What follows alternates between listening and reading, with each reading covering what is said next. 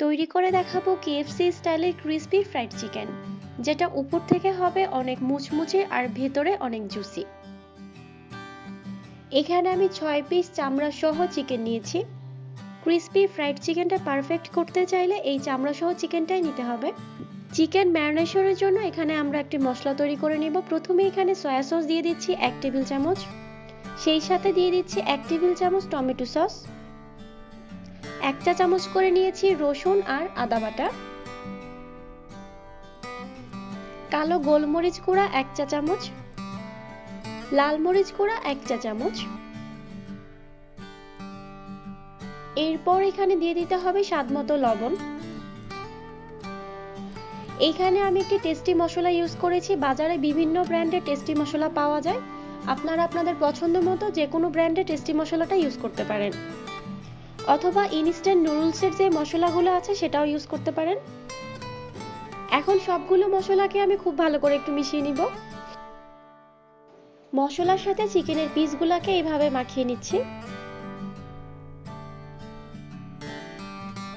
মশলাগুলোকে চিকেনের গায়ে এভাবে হাত দিয়ে মাখিয়ে নিতে হবে।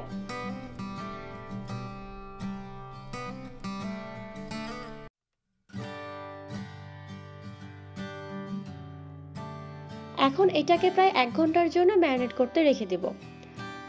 তবে আপনাদের হাতে যদি সময় একদমই কম থাকে, সেক্ষেত্রে চিকেনটাকে সাথে সাথে ভেজে নিতে পারেন। এখন আমরা ময়দার মিশ্রণটা তৈরি করে নিব। সেজন্য এখানে দুই কাপ পরিমাণ ময়দা অ্যাড করে দিলাম। কর্নফ্লাওয়ার দিয়ে দিচ্ছি ওয়ান ফোর্থ কাপ। এক চা চামচ গোলমরিচ গুঁড়া দিয়ে দিচ্ছি। সেই সাথে খুবই সামান্য পরিমাণ হলুদ গুঁড়া অ্যাড করে দিলাম। এতে করে এর উপরের যে কালারটা আছে, সেটা খুব সুন্দর আসবে। শুকনো উপকরণগুলোকে খুব ভালো করে এইভাবে একটু মিশিয়ে নিতে হবে।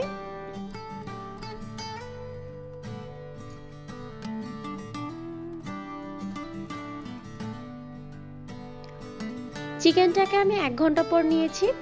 এখন এক পিস করে চিকেনটাকে এইভাবে ময়দার সাথে কোট করে নিব। এই কাজটা একটু আস্তে আস্তে টাইম নিয়ে করলে কিন্তু উপরের যে ক্রিস্পি পার্টটা আছে, সেটা খুব পারফেক্ট হবে।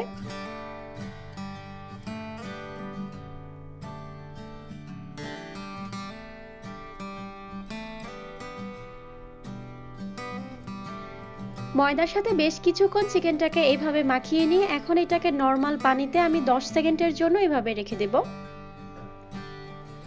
ঠিক 10 সেকেন্ড পর আমি পানিটা হালকা একটু ঝরিয়ে আবারও ময়দা দিয়ে কোট করে নিচ্ছি। ময়দার সাথে চিকেনটাকে খুব ভালো করে কোট করে নেওয়ার পর এর গায়ে থেকে যে এক্সট্রা ময়দাটা আছে সেটা আমি এভাবে ঝেড়ে দেব। এক্সট্রা ময়দাটা চিকেনের গা থেকে সরিয়ে নেওয়ার পর এটা ঠিক এরকম হয়েছে। সবগুলো চিকেনকে ময়দার সাথে ঠিক এই প্রসেসে কোট করে নিব। চিকেনগুলোকে ভাজার জন্য চুলায় প্যানে আমি পর্যাপ্ত পরিমাণ তেল দিয়েছি। আর তেলটাকে কিন্তু একটু ভালো করে গরম করে নিতে হবে। তেলটা যখন গরম হয়ে যাবে, তখন এইভাবে আমি একটা একটা করে চিকেনের পিসগুলো দিয়ে দিচ্ছি। আমি দুইবারে চিকেনগুলোকে ভেজে নিব। চেষ্টা করবেন প্যানে একসাথে খুব বেশি চিকেন না দেওয়ার জন্য। চুলার আঁচ মিডিয়ামে রেখে চিকেনটাকে আমি পনেরো মিনিটের জন্য ভেজে নিব। এই পর্যায়ে চিকেনগুলোকে খুব বেশি তাপে কিন্তু ভাজা যাবে না।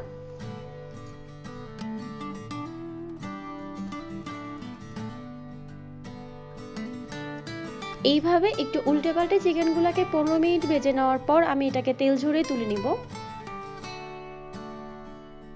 তৈরি হয়ে গিয়েছে খুবই মজার মুচমুচে ক্রিস্পি ফ্রাইড চিকেন। এইভাবে আপনারা বাসায় কিন্তু খুব সহজেই তৈরি করতে পারেন। চিকেনটা উপর থেকে খুব মুচমুচে হয়েছে আর ভেতরটা একদম জুসি হয়েছে। রেসিপিটা কেমন লেগেছে কমেন্ট করে অবশ্যই জানাবেন। এরকম আরও অনেক মজার রেসিপি পেতে আমাদের চ্যানেলটা সাবস্ক্রাইব করে রাখতে পারেন। আজ এ পর্যন্তই, সবাই অনেক ভালো থাকবেন। আল্লাহ হাফিজ।